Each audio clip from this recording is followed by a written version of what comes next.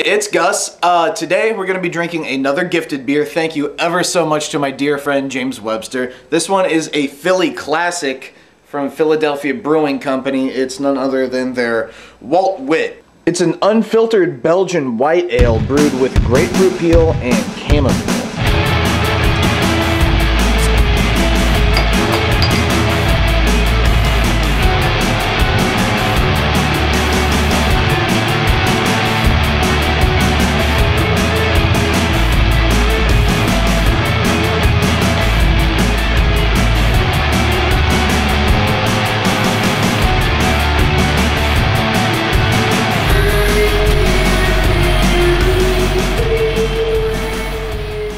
So it's very hazy, very pale. Um, got some floaters in there. I did pour the whole bottle in there. It's bottle conditioned, so you're bound to get some floaters.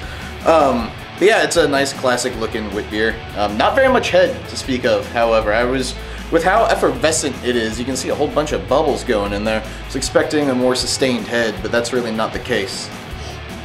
It's got a really, really nice nose on it. It's very summery. It's real bright, a lot of citrus in there. Um, I do honestly, maybe it's my brain telling me so, but I get some of the grapefruit peel in it. The chamomile really has a very unique character. A little bit of the Belgian fermentation characteristic, but it's mostly just that real nice citrusy floral aromas.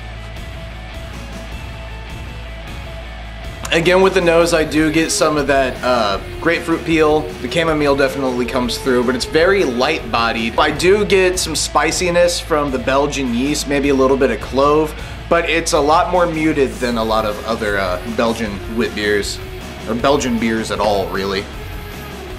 Maybe even some orange juice right on the finish. Like, all right, it finishes kind of watery. I'll be honest with you. But, you know, again, it is a very small beer.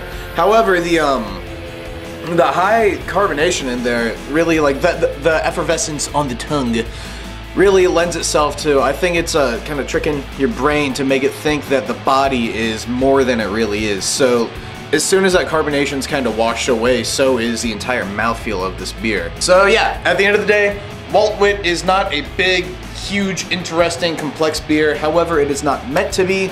It is exactly what it is. It's a Belgian wit beer small, light, refreshing, very flavorful, however, and that uh, chamomile character in it is very, very unique. Gives this really nice floral thing going on that you don't really get in many other beers.